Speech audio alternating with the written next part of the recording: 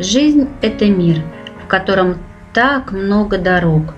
Как выбрать ту единственную, которая приведет к счастью, наполнит жизнь смыслом?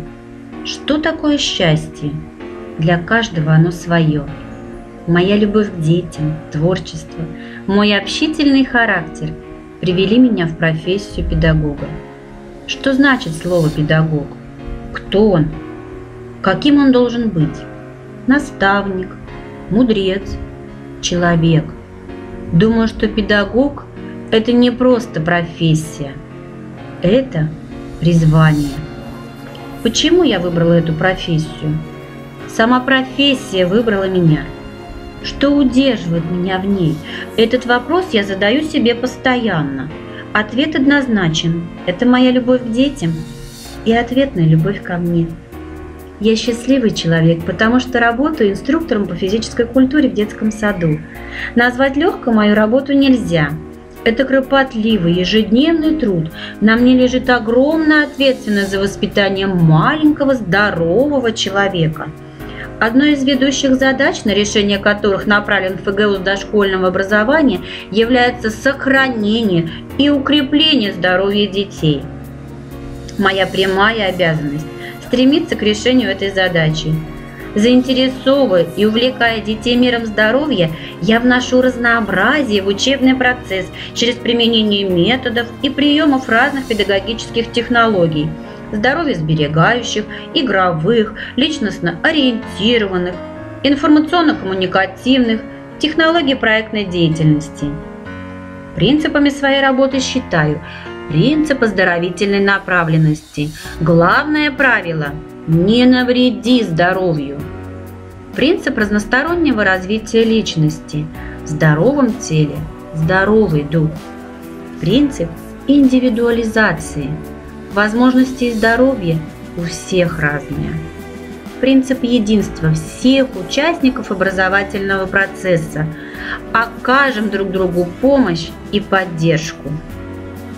Инновацией моего педагогического опыта считаю внедрение в практику тематического флешмоба, забавных физкультуринок, степ-аэробики, игрового стретчинга, пластического балета.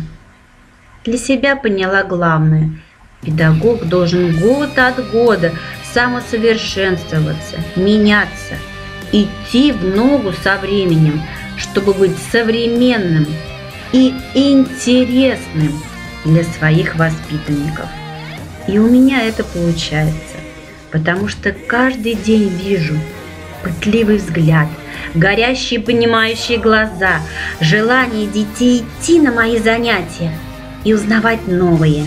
И я счастлива от того, что детям нравится учиться. И я вижу результаты своего труда.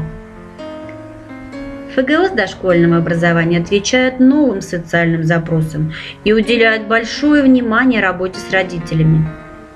Поэтому я стараюсь вовлечь семью в единое образовательное пространство.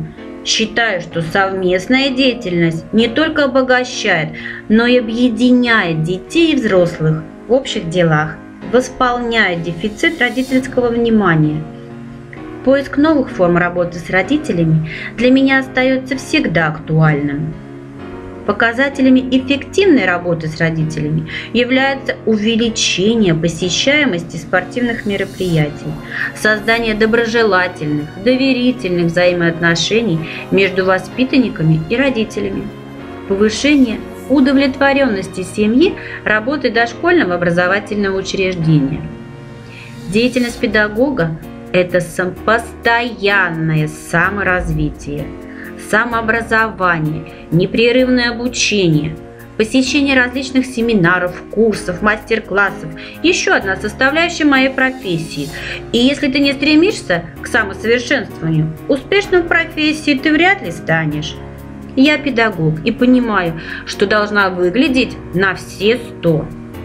Какое настроение подарю окружающим, таким и будет их день и поэтому стараюсь быть веселой и доброй. Главное – улыбка от сердца. Улыбка как показатель внутренней самодостаточности, уверенности в себе.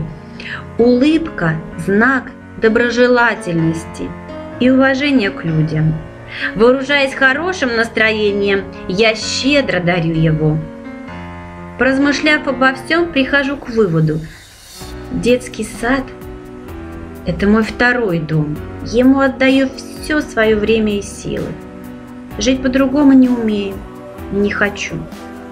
Утром с радостью иду в детский сад, чтобы снова и снова встретиться с детьми, коллегами, моими единомышленниками, живущими со мной в одном ритме жизни. А вечером, усталая, но счастливая, иду домой, где меня ждет моя семья. Я исключительно счастливый человек, потому что нахожусь при своем любимом деле.